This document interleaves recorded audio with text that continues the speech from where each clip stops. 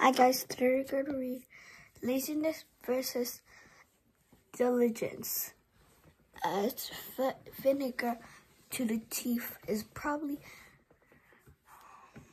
biological environment having our teeth set on edge. Certain things such as fingernails being scraped by chalkboard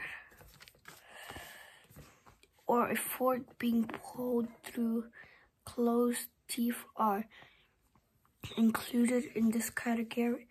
No. One thinks that these things are pleasant as well. It is painful to ask a lazy person to do a job. May none of us fail to into the category of sorted. When it comes to the task God has executed with diligence.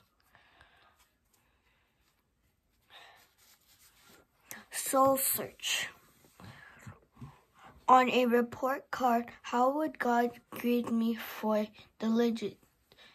Diligence. Father, make me diligent in all things that please you. Amen.